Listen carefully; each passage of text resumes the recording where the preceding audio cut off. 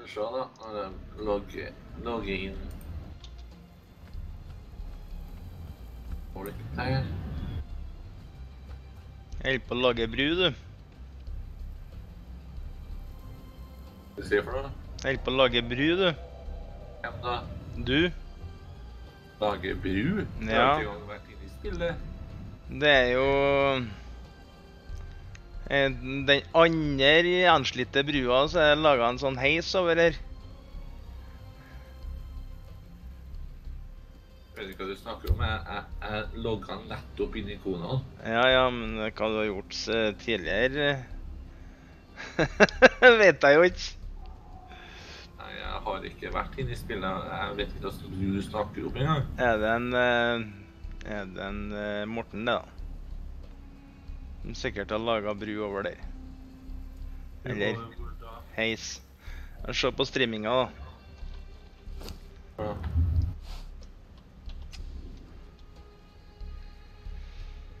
Jeg ser på streaming nå.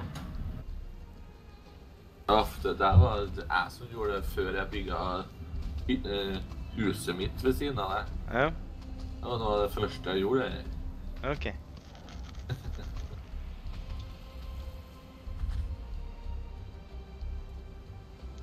Jeg skulle bare teste og se åssen det fungerte. Jeg skulle reparere brua, men det Det ble vanskelig. Jeg måtte ha så mye piller at det er sykt. Ja. Sånt prosjekt orker jeg ikke. Jeg vil ha et større prosjekt.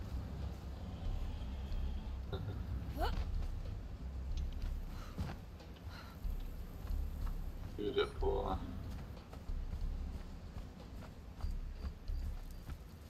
vanskelig å få folk til å altså, komme og spille på serveren vår. ja. Ja. Det. Har ikke det mot, motstand, den, den andre serveren som vi var på.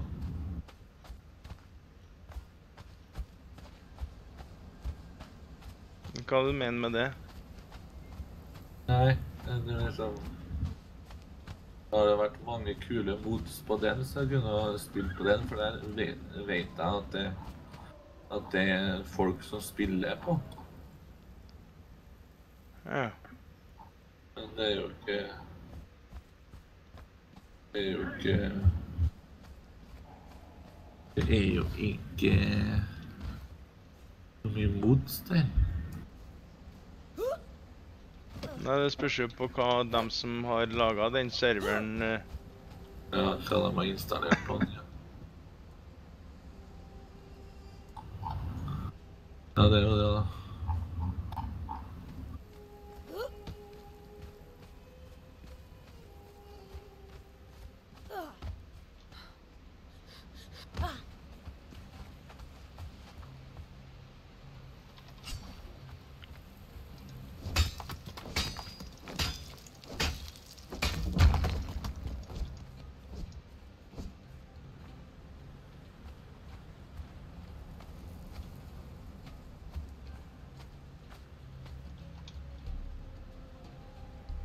ja, Der bortpå er det han bor, han er pre eh, trollmann, ja. Stemmer det?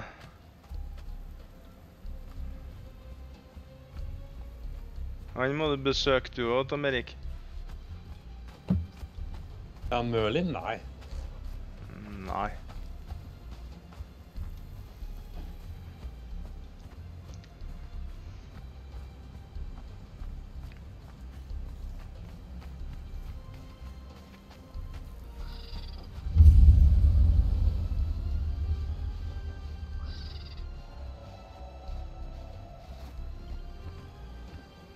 Presten.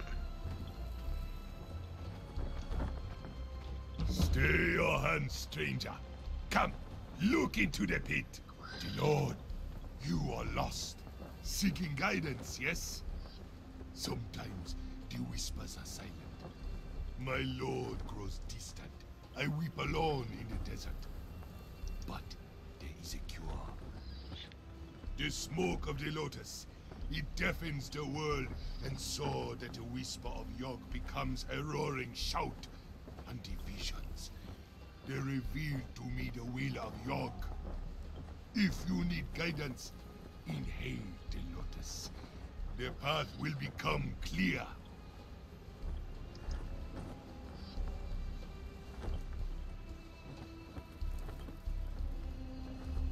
Listen to the whisperings. Yog knows you.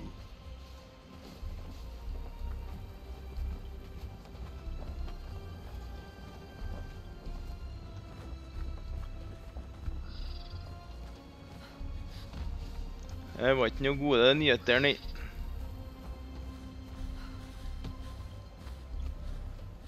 Korona?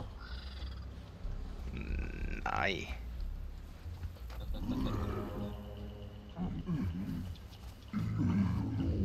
Hvor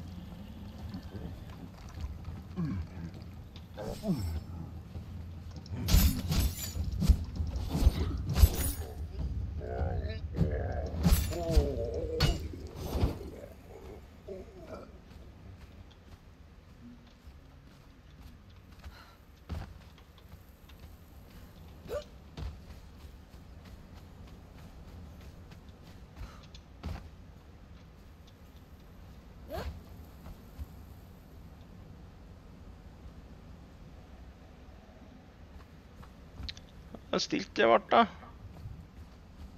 Bil? Hva for noe? Ja, dere pleier som regel å være så pratsomme ellers. Eh, held på Held på sitter og spiller den.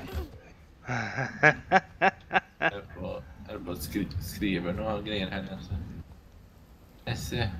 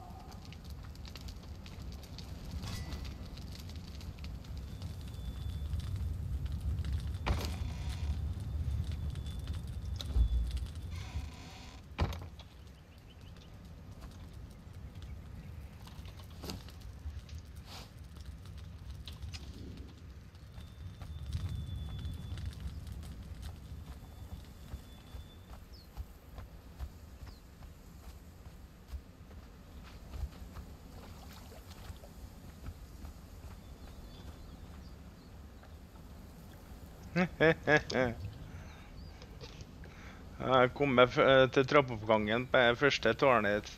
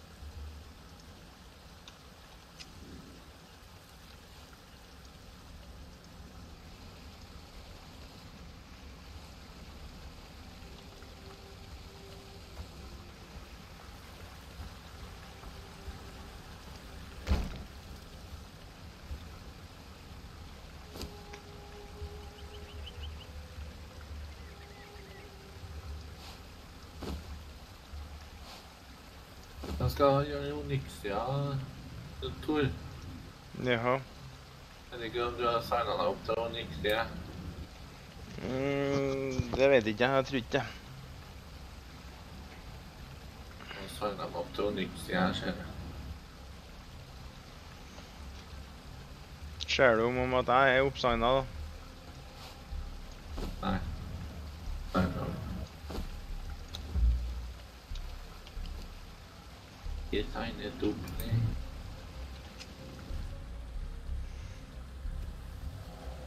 Men Det det går så det er ferdig.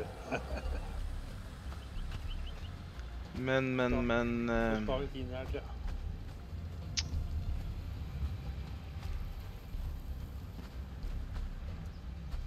Er det noen mulighet for å få noe gear eller noe sånt der, da? Nei, det er gearet du kan som er viktigst for For deg er hodeplagget som dere to allerede har fått. Ja. Så det, det er bare det. Bare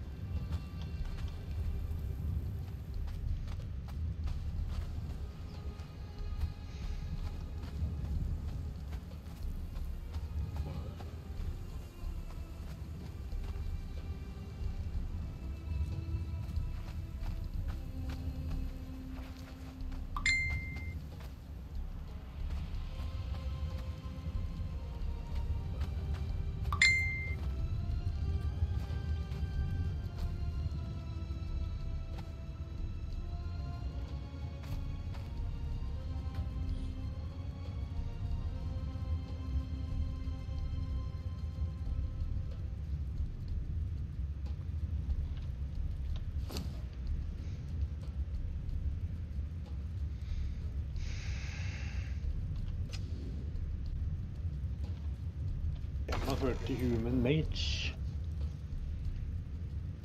Det er det 48 Hunter. 40 Druid. 43 Prest. Mage og Serena.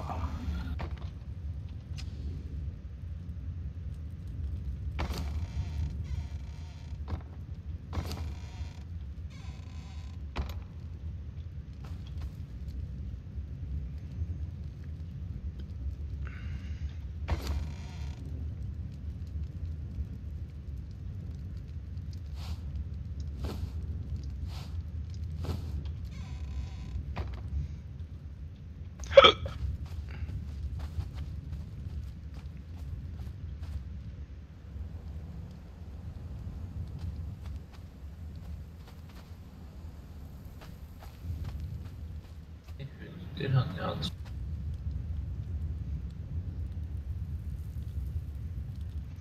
Der har du bygge tårn, ser jeg.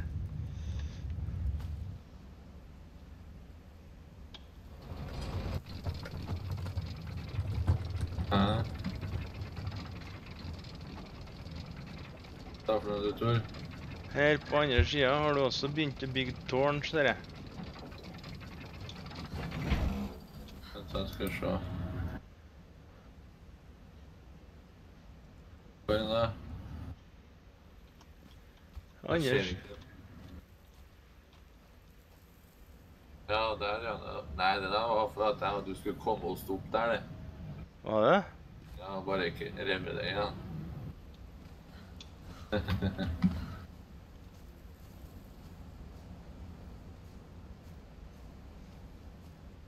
Jeg har ikke Jeg har ikke revet det igjen etter det.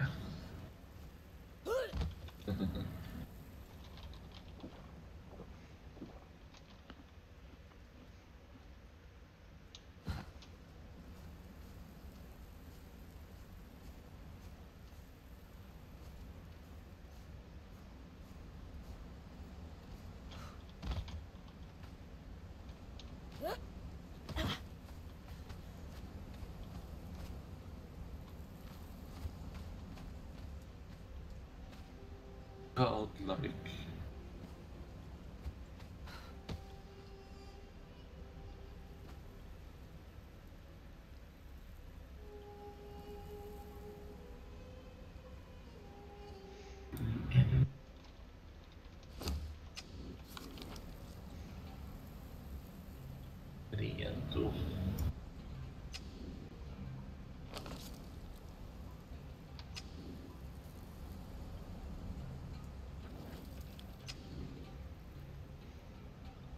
Ok, ok, ok.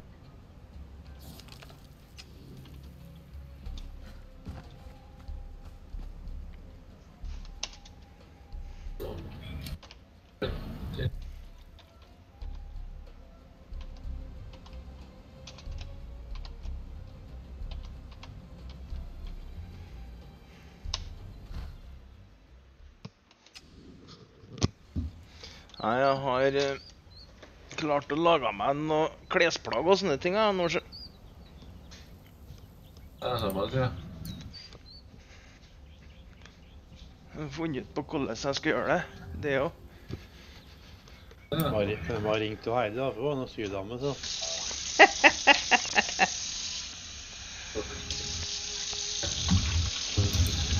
Hun det er noen syr klær, hun, så. Ja.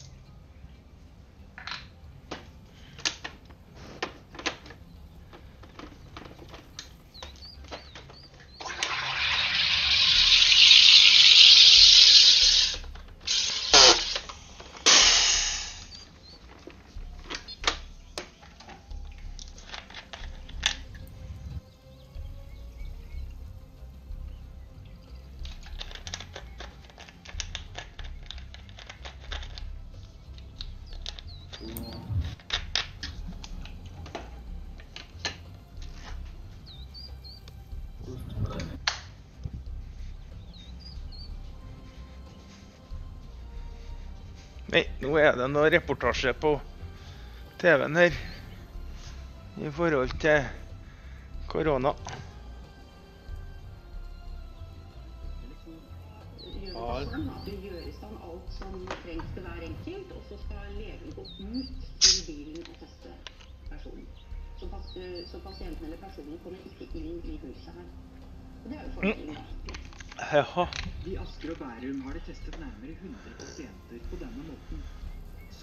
Har én person testet positivt her. Og så vasker jeg med denne her filla. Den skal da ta alt av virus. Prøvene blir sendt videre til Ullevål sykehus med drosje. Resultatene tar én eller to dager. I mellomtiden blir pasientene bedt om å holde seg isolert. Okidoki. Så må du vente hjemme til vi ringer dem, og de får svar uansett om det er positivt eller negativt, da. Halvparten av alle norske bedrifter frykter konsekvenser av eh, koronaviruset i Kina, ifølge NHO. Shippingnæringen er blant næringene som allerede taper stort, og Rederiforbundet frykter at hysteriet vil gjøre skaden enda større. Verdenshandelen stanser opp pga. koronaviruset og koronaviruset, ja. Det har de sluppet. Har de stengt grensene når WHO kom til fase 3, så har de sluppet det. Jeg tror han Donald Trump vil stenge grensa, han, tror jeg. Ja, Fikk du med deg at, at eh, demokratene skal, skal skylde på koronaviruset på Trump nå? Ja, men det er snakk om eh, verdenshandelen som kommer fra Kina, det der nå. Ja, ja, men de, de, demokratene prøver å skylde på Trump nå at eh, koronaviruset har kommet til USA. De, de prøver desperat borti her. Ja, ja, men de skylder på Trump nå for at han ikke har gjort noe med det. Nei, men nei, men demokratene de gjør jo alt for å sverte den, altså. Så enkelt er det. Så dårlig i Kina at det kommer til å ramme oss hardere. og Det er en helt annen sak enn i forhold til det som er på nyhetene her nå. Ja, du må stole på det som nyhetene, for det er jo bare Allting er sånt der. Ja, Det har ikke noe med en trumf å gjøre, dette her, Tom Erik. Nei, jeg vet det, men eh, Ja, jeg skjønner, jeg skjønner hva du vil fremme i forhold til det med demokratene og det borti staten der, sjø. Skjønner. De finner alle slags unnskyldninger som de kan bruke opp mot en Trump, dem. Ja, men eh, så er det jo at har det WHO gjort det de skulle ha gjort, så har ikke viruset kommet så langt. Men hvis det går mot en global krise på grunn Ja, gjorde de i viruset, Gjorde de når det, det svineinfluensagreia liten nå? Nei, hun- fram. Her òg. Trenger til å gjøre noen ting. Det er jo den heldige situasjonen vi er i i Norge, som har et økonomisk handlingsrom. Men vi er ikke der med noe, så de har gitt oss noen tall som er dårligere nå. Bare bare har det anslag sånn at vi som ikke har stengt stengt, eh, vanskelig grensene. Håper de går i de hva konsekvensen for det de har gjort. Og forsøke å få ting som kan fungere, til å fungere mest mulig normalt. Og der sier du i dag at uh, dere forbereder et worst case-scenario. Uh, case scenario. Hva går disse planene ut på? De helseberedskapsplanleggingen vi har, er at Det er pandemiplanlegging dreier seg om at 25 av befolkningen blir eh, smittet. Det er worst case. Og så gjør vi alle vel. tiltakene som vi ser nå at man gjør i helsevesenet for å ikke få denne worst case. Worst case hvis at det er 25 av befolkninga blir smitta. Dette er en solidaritetshandling mot at dette er en sykdom som først og fremst kommer til å være alvorlig for folk som har andre sykdommer. Jeg orker ikke å høre på det heller, for jeg kunne ha gjort noe med det lenge før det kom så langt. Men så ser vi at eh, helsearbeidere De tenkte bare på penger, så da vil jo mange stille seg spørsmål på. Er beredskapen god nok? Ennå er det ikke et fullskala utbrudd engang. Eh, Det er sånn at det er en utfordring at man ikke hadde testet tidlig nok på denne ene pasienten som kom et annet sted fra. Nå er beredskapen og reglene veldig tydelige på plass. Kommer du fra et område hvor det er utbrudd, har du vært i kontakt, så skal du faktisk være i hjemmeisolering. Og så, hvis du blir syk, så skal du, eh, så skal du testes. Vi kan ikke teste alle, for det er også en begrenset ressurs. Men eh, så så det som er viktig, er at vi faktisk jobber litt mer hjemmefra. Alle som har vært i områder eller vært i kontakt med, og forsøker å gjøre ting mest mulig vanlig. Og så husker den solidariteten med at så lenge vi ikke har vaksine, så dreier dette seg om å beskytte de som er svakest. Det kosta mye rart i bagen. At det går inn instansert, det er Joe Biden, demokratenes primærvalg i Nei, ja, det er- det. med god margin i natt. Biden Ja, men det har jo så mye dritt der. 40% av stemmene. Det er 150 Og det er bare kast, kast allting som er grått og hvitt, da. Ligger på en andreplass med 19,9 prosent av stemmene. Tirsdag er det såkalt Eventuelt. supertirsdag i USA. Da holder demokratene primærvalg i hele 14 delstater. Denne vinteren har flere fylker satt værrekorder. Ja, Gjennomsnittstemperaturene i en rekke fylker har vært de varmeste på 30 år. Meteorologer mener disse varmerekordene er nordmål nå still. Og la dyne. Mange var ivrige på å teste den nye snøen som kom i Oslo i går. Mens andre er glade nå som vintermånedene er over. For voksen så er det deilig med å slippe snøen. Men for unger her så er det sikkert litt koseligere når det snør. Det merker jo at det er er så lite snø.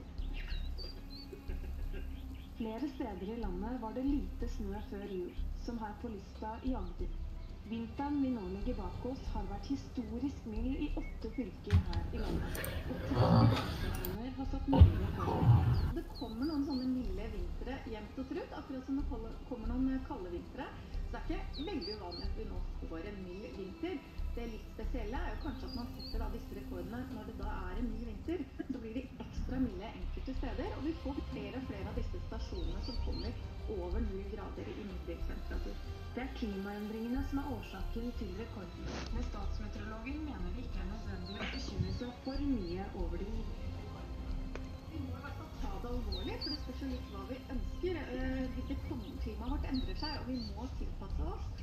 Og hvis, det er, hvis vi ønsker å ha vintre, hvis vi ønsker å ha det litt sånn som vi har hatt det, så må vi bremse utviklingen. Det kommer helt sikkert noen kalde vintre, og snørike vintre blir det, i hvert fall i de områdene som da fortsatt har ganske lave temperaturer.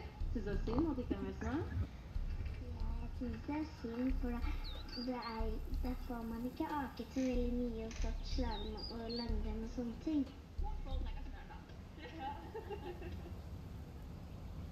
Kong Harald og dronning Sonja er på plass i Jordans hovedstad Amman, klar for sitt første statsbesøk til et land i Midtøsten. I kveld er eh, kongeparet middagsgjester hos den norske ambassadøren. Der møter de delegasjonen som skal følge dem når det offisielle programmet starter i morgen. Kong Harald og dronning Sonja har reist verden rundt for Norge. Besøket til Jordan er statsbesøk nummer 50. I 1991 drog et nybakt kongepar for første gang ut i verden på vegne av nasjonen Norge. De reiste til naboene, til den nære kongeslekta i Danmark. Nelson Mandela ønsket velkommen til Sør-Afrika etter fire år som president. Førsteinntrykket av Sør-Afrika uttrykte kongen slik. Boris Jeltsin var verst. Forsvant her for en som heter Hunter. Han ble AFK. Han skulle gjøre et eller annet. Seremonielt og presist på statsbesøk. Å, Bortsett fra i USA, der vertskapet ikke var Kanskje klar det kan være noe. til Det hvite hus. At kong Harald og dronning Sonja måtte vente før president Bill Clinton og fru Hillary dukka opp, ble Ja, toppsaker hva gir hun seg?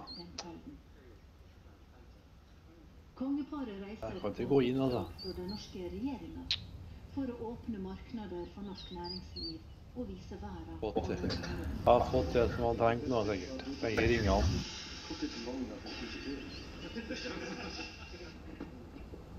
Reisende har flere ganger gått til nasjoner som står ved vanskelige USA for noe, håper jeg. som Tyrkia. Jeg har fått det. Skulle ha nå sikkert begge ringene. ja. Temaet har vært oppe, det er menneskerettighetene. Og det er masse flere temaer òg, kan jeg love. Kong Harald har inspisert utallige æreskompani. Han har skåla for gode relasjoner og sett avtaler bli signert. Nå venter statsbesøk nummer 50 for Norge ute i verden. Kollega Kristi Marie Skrede, kongeparet har hatt en tøff vinter. Er de i form til en så krevende tur som et statsbesøk er? Ja, det lurer nok mange på etter den eh, vanskelige vinteren de har vært gjennom. Og utenriksminister Ine Eriksen Søreide sa til oss eh, rett før middagen her at hun har stor respekt for at kongeparet går på denne store jobben eh, akkurat nå. Men de har vært på en lang vinterferie. De har vært ute av landet et par uker allerede. De har fått hvilt seg, kom til Jordan sist onsdag og skal være klare for et statsbesøk som vært planlagt lenge. Ja, hvorfor kommer det første statsbesøket til Midtøsten først nå? Ja, Midtøsten er jo en veldig urolig del av verden. Det var planlagt et besøk for noen år siden, men eh, det ble avlyst pga. uroligheter. Eh, nå eh, er det til Jordan, det mest rolige landet i denne regionen. Eh, og det er et gjenbesøk eh, for kong Abdullah og dronning Rania, som var i Norge på statsbesøk i år 2000. Statsbesøket begynner i morgen. Det er Kristi Marie Skrede som følger kongeparet. Er horoskopene bestemt av stjernene, eller er det bare klipp og lim? Vi sjekket horoskoper hver dag i seks måneder og fant 827 like. Les saken på nettsidene våre nrk.no.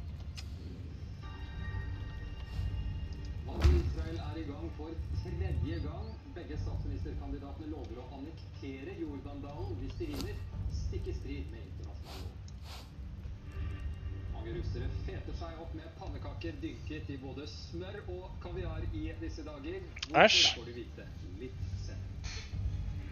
Og Sverre Lunde Pedersen tok sølv i allround-VM på hjemmebane. Men først i USA, for økende priser på reseptbelagte medisiner har blitt en viktig valgkampsak der. Kanskje ikke så rart når man hører at diabetikere Økte priser på reseptbelagte medisiner i statene. Ja, der nede tenker jeg de gjør det. ja. De har møtt lov til det her, her oppe i Europa. Det er jo helt annet system i det der, tror jeg. Canada, hvor de får den samme medisinen til en 4000 kroner i statene for noe samme medisin til 300 kroner i, i. Ja, men må huske på at det er ikke noe eh, blåresept. Det er, det er resept der òg, men eh, I Canada. 300 kroner i Canada, 4000 i statene. Ja, men eh, ta spør dem på apoteket hvor mye medisin din egentlig koster. Du kan få prisen her og sjø. Kan du gjøre. Noe av den medisin som jeg spiser, er egentlig Hvis du skulle ha betalt full pris på, Ja da. på en del av medisinene her òg, så er det 4000 kroner her òg. Det er bare å si at borti der så er det ikke substituert som her, da. Det er ikke Men borti der så får du noe, får du noe hasj på resept og der, da. Så det Som det gjør den liker. folk som, eh, folk som faktisk trenger det, ja. I USA har de et helsesystem som er veldig ulikt det norske. Her trenger folk helseforsikring for å få dekket helseutgiftene. Helseforsikring for å få dekka helseutgiftene. Ja. Blir en ekstra jobb på toppen av sykdommen. Så har du i hvert fall lov nedi der da, til å prøve medisiner som ikke har kommet på markedet der, da. Slipp å dø i helsekø for å teste noe nytt. Noe som oppi her, så må du dø før de finner ut at den, den medisinen her, det, den medisinen er for dyr til at, til at vi kan godkjenne den. Ja, men jeg betaler den sjøl, jeg. Jeg har penger til å betale den sjøl. Nei, du får ikke lov til det. Her i fremtiden. For prisen på insulin øker.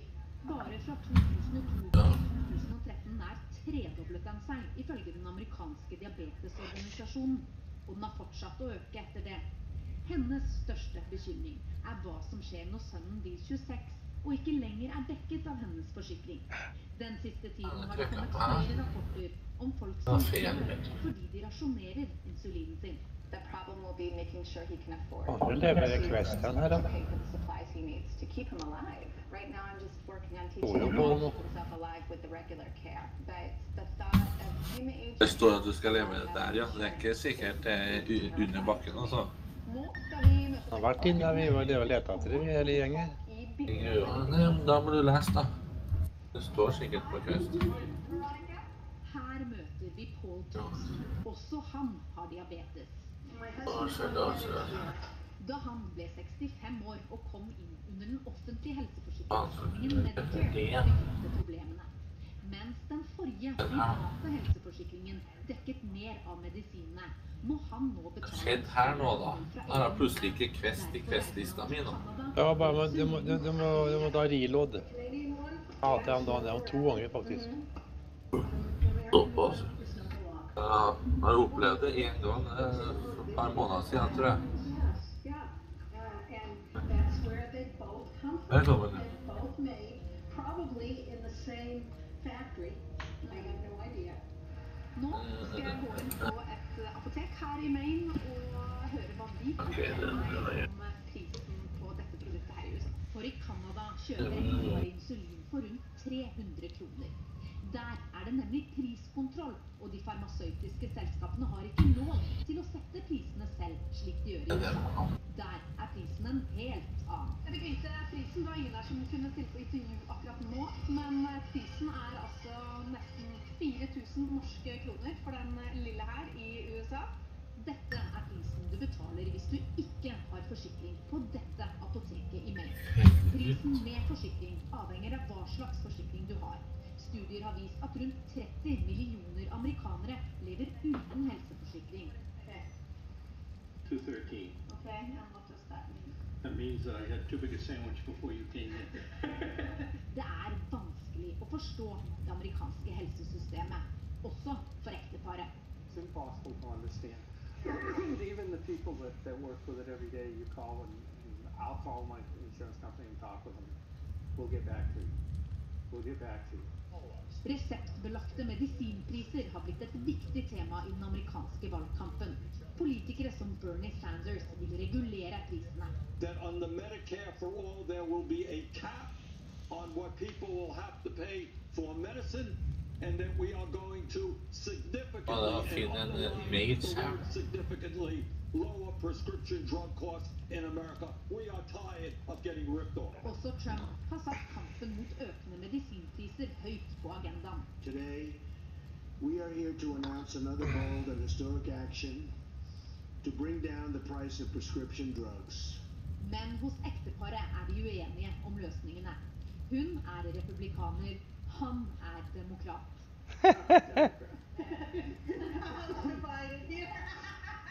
So I don't talk politics. no, very little. But I'm, I'm going to vote for Bernie. How do you feel about that you have to go to Canada to get your medicine? It's stupid. It sucks. Shouldn't have to. So greed. It's just greed. For me, there's no question.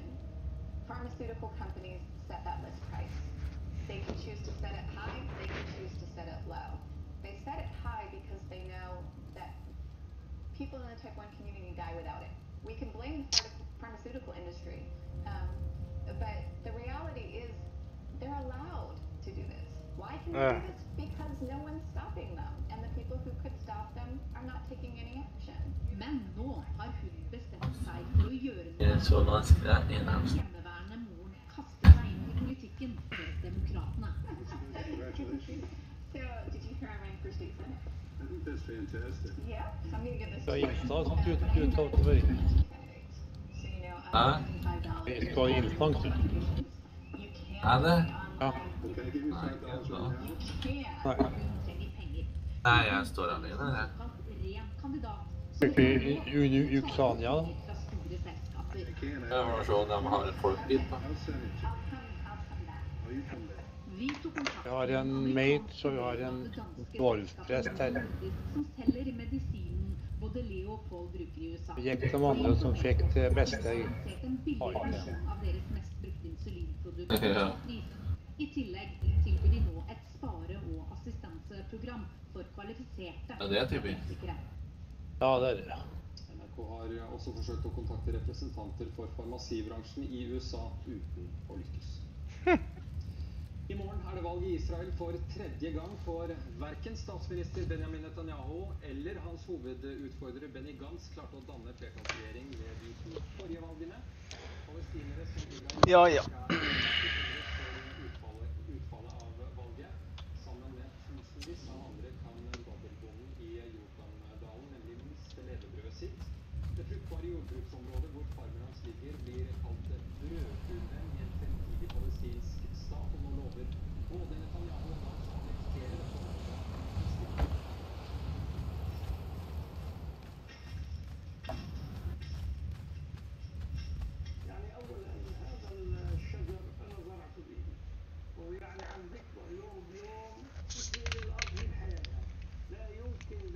Men nå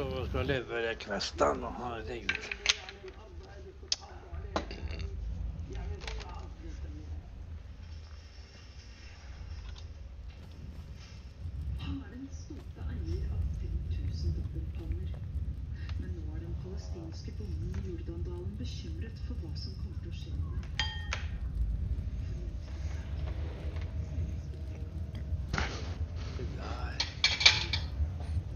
Det der. Värmland. Ja, det er jo nå. Hæ? Det er jo nå, så.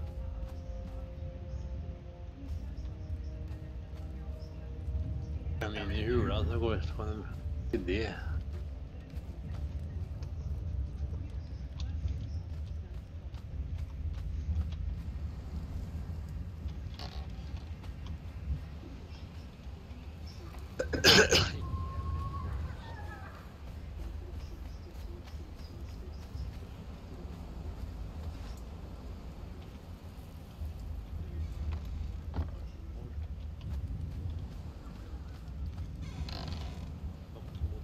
Det skal jeg levere. Jokkmodal. Gå dit, da. Jeg har bytt natta, Tor. Ja, og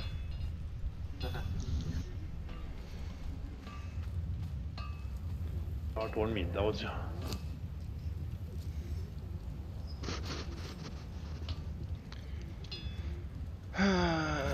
Hva det var jeg trengte, da?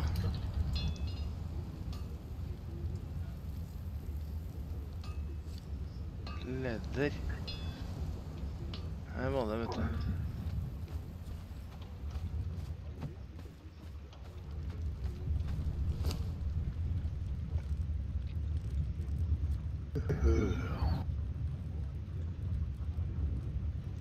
Ja, for at jeg skulle få til det, så trengte jeg bark.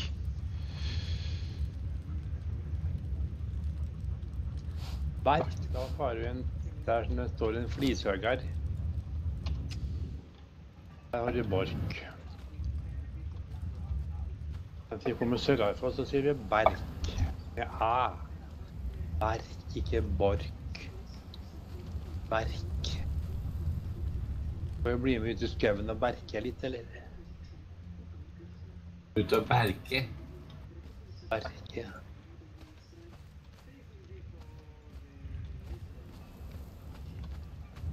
Noen trailere her, så får den i igjen litt uh, berk.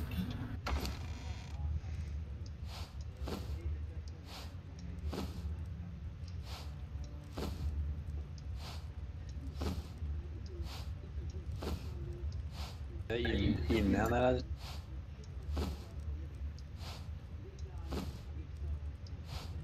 Og så er det en plass, da. Her, ja. Hvor er dere her? Det var en middag. Ja.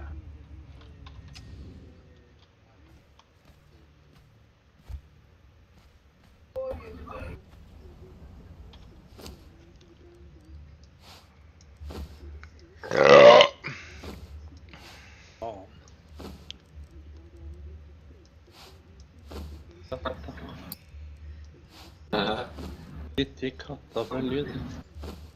Peter han holdt på å koistikke her inne. Har du fått eh, lageret ditt, ja, Tor? Ja, lager og lager. Du flytta eskene dine dit? Ja. Ble de bløte når de sto ute? Nei, det ble de ikke, men eh, du kan si det er likere å ha alt på én plass. Ja, sånn, ja. Det er kjekt. Det kan være at jeg er nødt til å lage Bruk det andre mellomhuset og til til et lager i stedet for det som jeg har nå.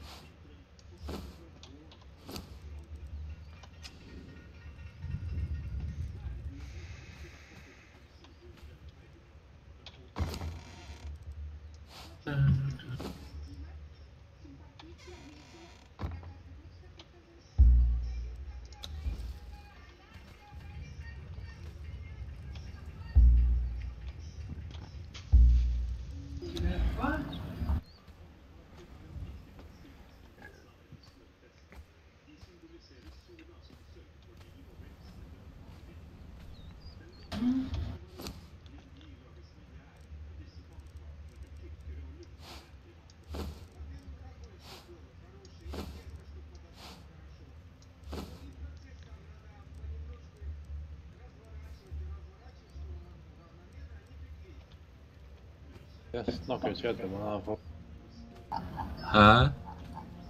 Ja, snakkes jo etterpå. når jeg får middag. så. Ja, ok. Det er greit, det. OK.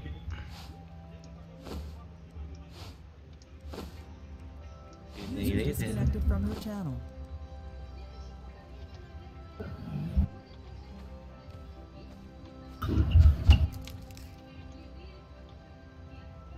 Men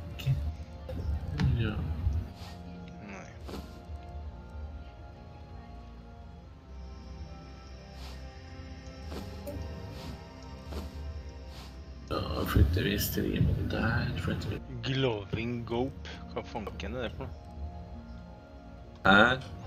Glowing Gope. Hva er Hvor er den da?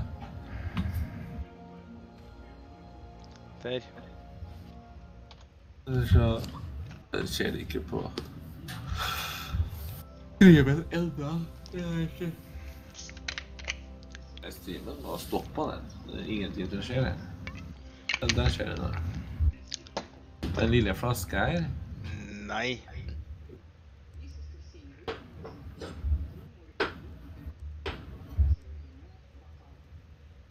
Du har åtte unspent feet, ser jeg. Ni unspent attributter. Mm, Da ser du på noe helt annet enn det som jeg kjører nå, altså. Jeg ser at du holder på, holder på å putte ting i kasser. Ja, men uh, Hva jeg har åpent her, da? Du har inventoren din oppe. 211% overlast. Ja. Da er det den blå dingsebomsen her på lager crate som jeg lurte på hva var for noe. Glowing Coop. Ja.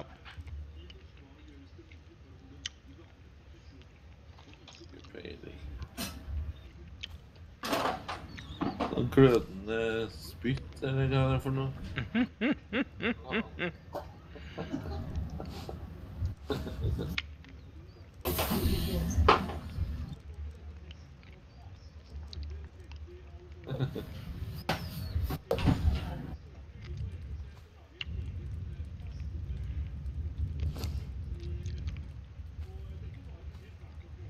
Bruker sikkert et eller annet, tenker jeg. Det er bare ikke kommet så langt, tenker jeg. Det er jo uh, Ja, det er hvis du bygger en sånn innhegning, så er det sånn eh, Sånn dyreinnhegning, så tem- temmer du jo dyr. OK. Da går det an å ri på hester òg etter hvert, tror jeg. Står det faen på norsk òg? Ja, du har riene i makassen, du. Ah. Da begynte jeg å lure. Mm. Funcom virkelig begynte å oversette spillet til norsk, da Da har de hatt for mye penger.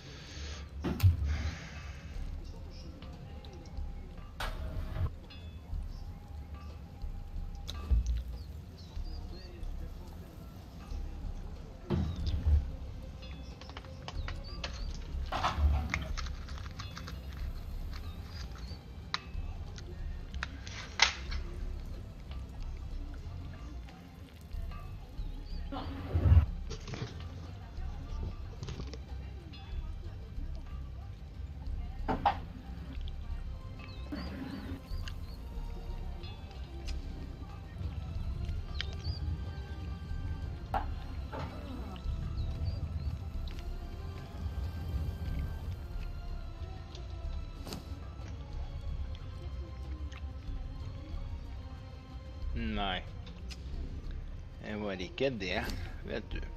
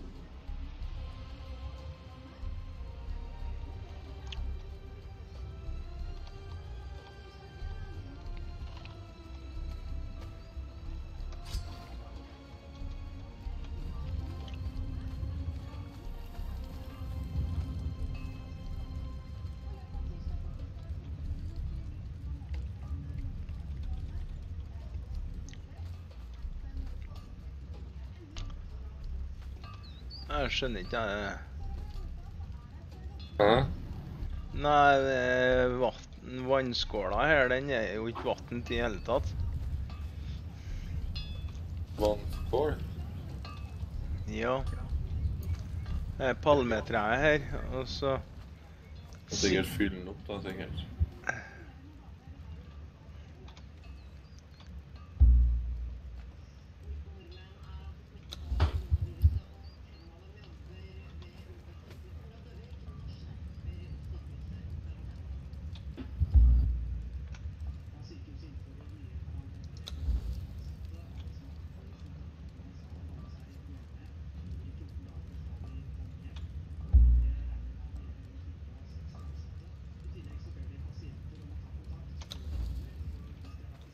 Har du vært og dragget med deg en ny fange? Nei. Jeg har ikke kommet så langt ennå.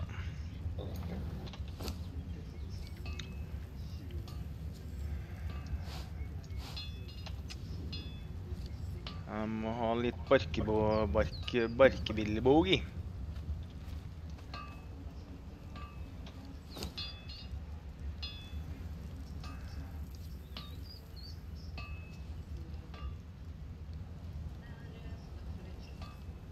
Jeg skal ha meg en sånn en, og da trenger jeg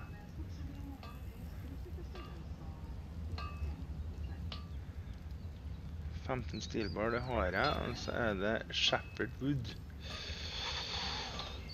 Jeg hadde han, da. Jeg har det i en av veskene her, sjø. Ja. Det var klær. Det var vi- våpen.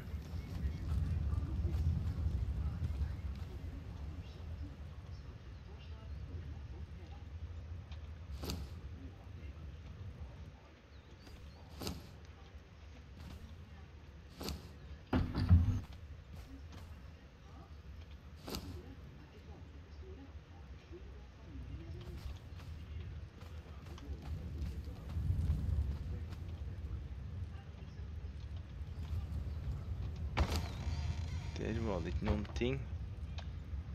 Da tar vi med oss den.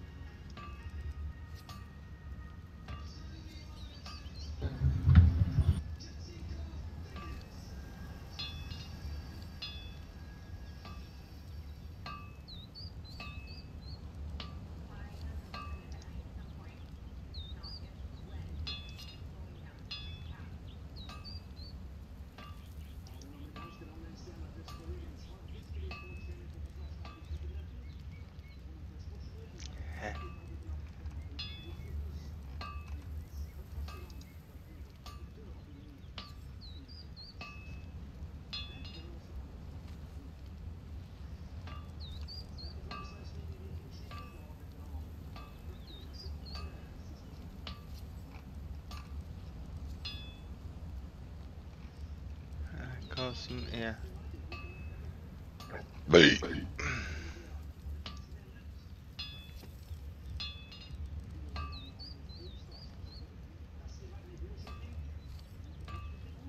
Spaved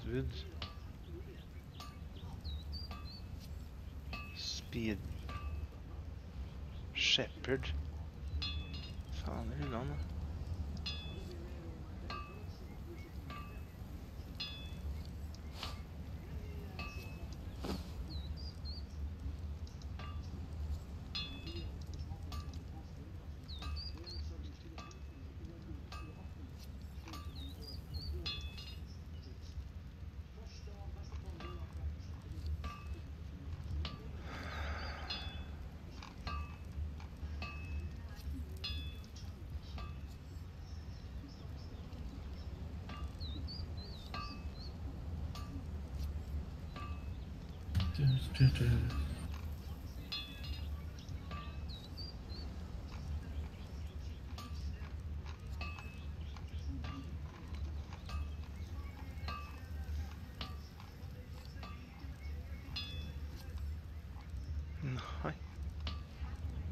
Det var merksnodig. Ja da.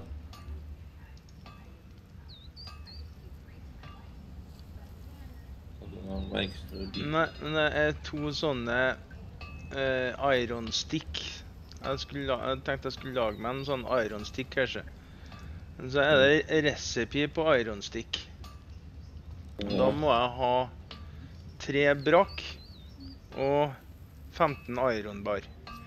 Jeg har eh, 48 iron bar og over 136 brakk. Det sto stil der. Det sto ikke Iron Bar. Det står Iron Bar, ja.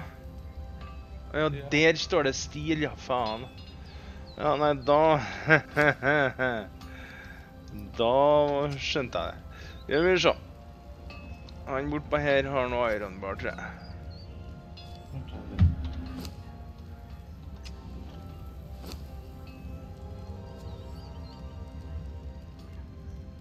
Det hadde han, gitt.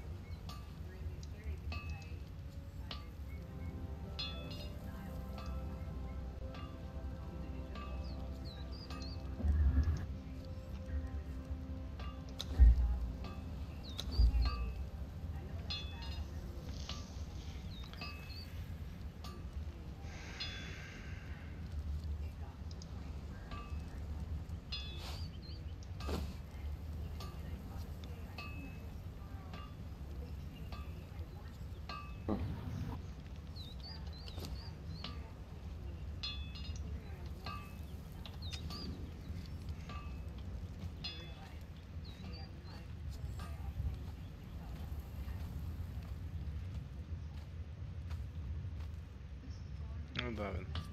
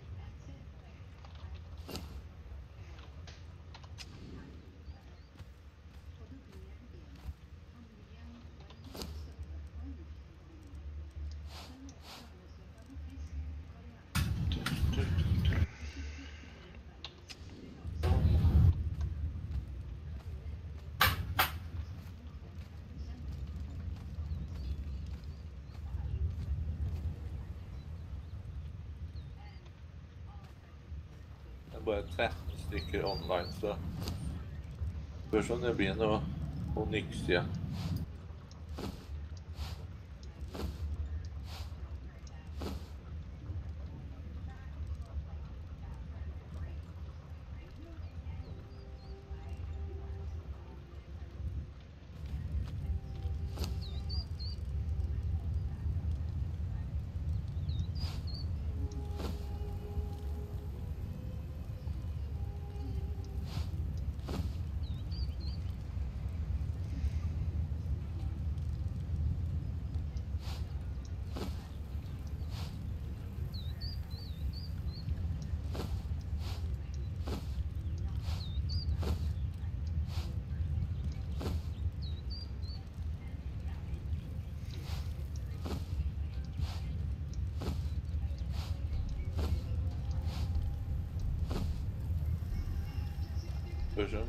Må, ta og sette ned oppløsninga på livestreamen din, Tor.